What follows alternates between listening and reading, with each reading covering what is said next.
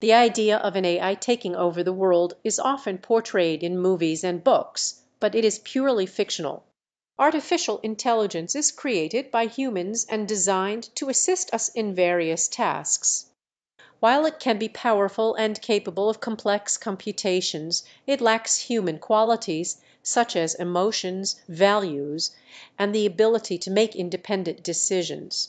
AI systems are limited to what they are programmed to do, and cannot spontaneously develop the desire or capability to take over the world. So there is no realistic way for an AI to take over the world as depicted in science fiction.